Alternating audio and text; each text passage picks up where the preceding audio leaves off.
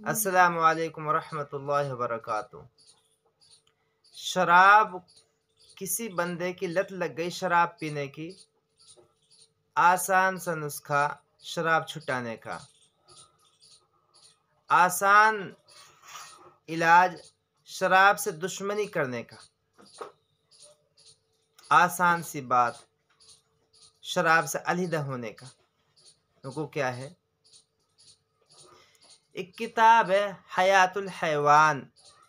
तकरीबन सवा छः सौ साल पहले लिखी हुई किताब है ये।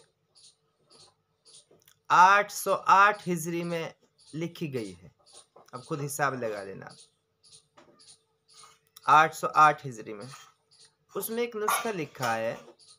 अब ये भी आवेगी बात कि ये तो हलाल तो है नहीं। अब किताब में मोतबर किताब है नुस्खा लिखा है, शायद एक इसलिए लिखा है कि जब शराब को पी रहा है बंदा, शराब से बड़ी तो कोई हराम चीज़ और क्या होवेगी? तो उसमें क्या लिखा है इलाज? कि शराब में कौवे का खून मिलाकर पिला दो, शराब का दुश्मन हो जाएगा ये बंदा, जो शराबी, शराब पीता है। शराब को नहीं छोड़ता, कोशिशों के बावजूद। उसके लिए ये तमाम कोशिशें कर ली और फिर शराब को नहीं छोड़ा, वो इन अपनाए इसको। इस नुस्खे को कि शराब में कौवे का, जिसे काग भी कहते हैं,